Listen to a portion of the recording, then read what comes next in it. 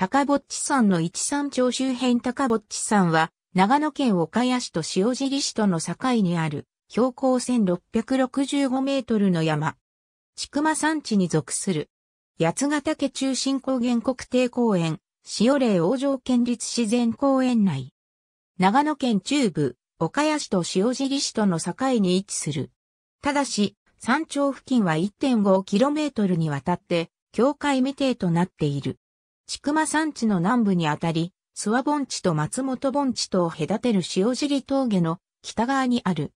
山頂には三角点が設置されていたが、2009年の調査により、防湿と判定され、基準点成果の公表は停止されている。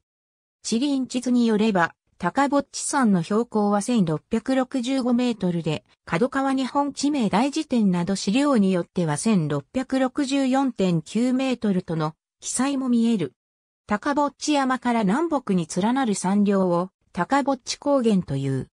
皿状の王地が散在する流気順平原面で氷炭地という名の池がある。地質は第三期中心予の緑色行海岸泥岩護層が主体。それを貫くようにして、核線石品岩が山頂部分に分布している。西側では石英線緑岩が基部に貫入している影響で、泥石の一部がホルンフェルス化している。松本盆地に面して走る2本の断層は、糸魚川静岡構造線系のものとされている。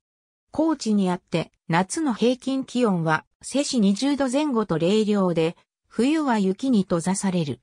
高原の大半がススキの草原で覆われ、夏は連月辻や日光キスゲが咲く。その他山ぶどうぶどうと呼ばれた白山風ロコバニ帽子、松虫草四つ葉ヒヨドリなどが生える。昆虫としては、アサギマダラクジャクチョウヒョウモンチョウが見られる。江戸時代までは、再装地として利用されていた。岡谷川の横川村と塩尻川の北熊井村との間では境界をめぐってしばしば紛争となった。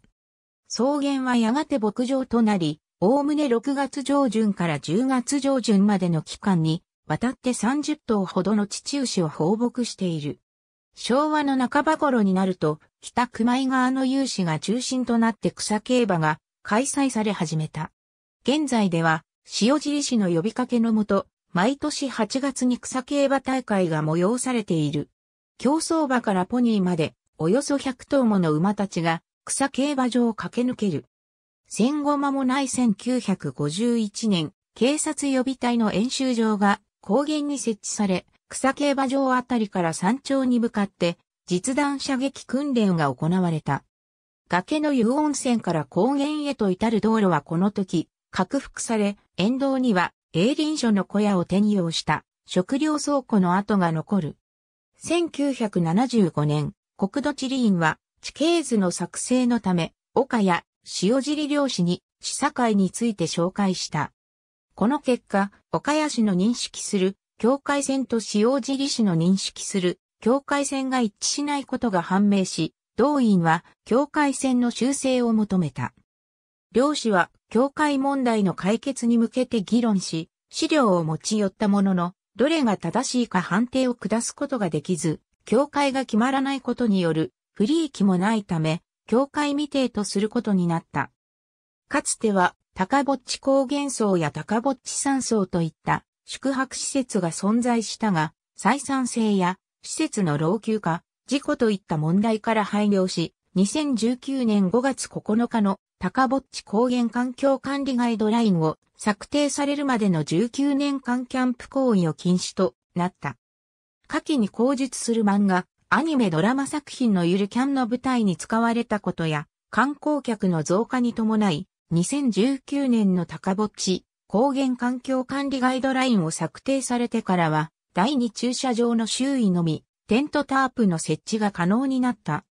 高ぼっちという名称は、1910年に5万分、一地形図を作成する際、測量士らが付けたものとされている。由来は定かではないが、以下のような説がある。ローマ字表記は、高ぼっち竹井鉢の二通りが見られる。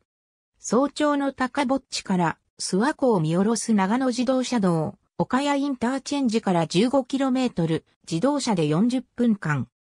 塩尻峠を通る国道20号から高ぼっち山を経て八伏山のほか、西麓にある崖の湯温泉まで車道が通じている。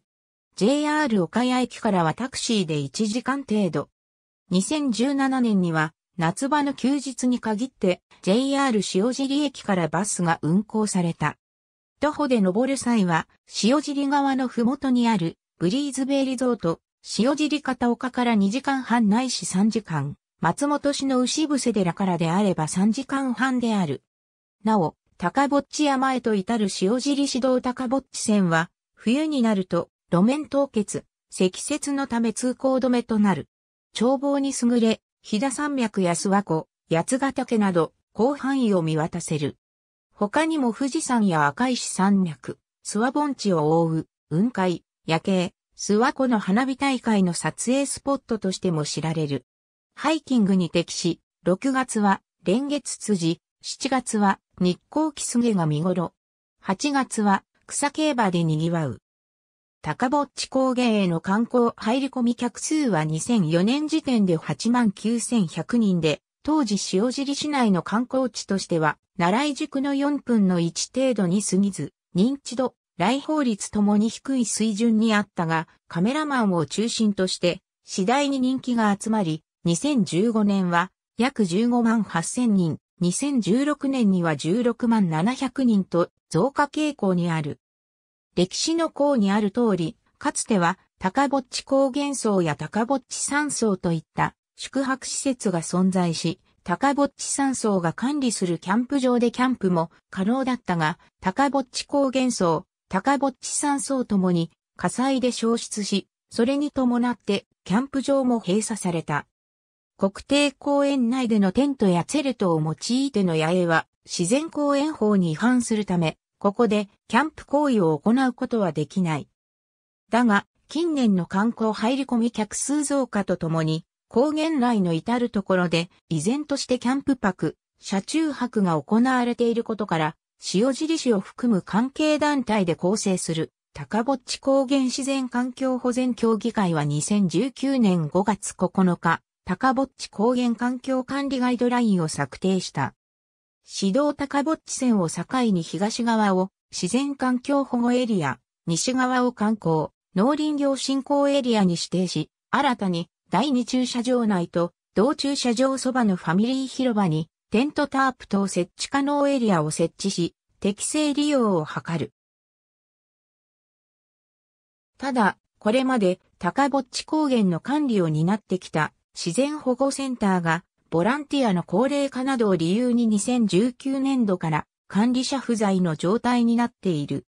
このため、新たに2020年度内までに公園保護管理員の配置を検討。同年の11月から高ぼっち高原テントタープエリア整地工事を伴い、2021年4月下旬に公開する。同年度は試験的に無料で運営し、2022年度より有料化の予定となっている。